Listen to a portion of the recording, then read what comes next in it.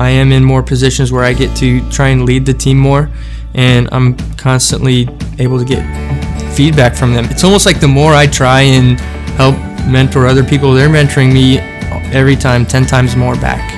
I am in a place where I truly believe that I can go out anywhere, any company, and pursue creative or business or both. You know, it, it feels good to be confident that I have the tools that Credera has equipped me with. I believe that, you know, informal feedback that you receive day to day is is more useful than receiving it all at once in like bulk at the end. Uh, the introspective part of it is, is something that I really like. It's a good tool to have uh, just in general. If you have a goal that you have set, it's very important to be able to break down what you've done and, and really think about you know how you can make it better, how you can improve.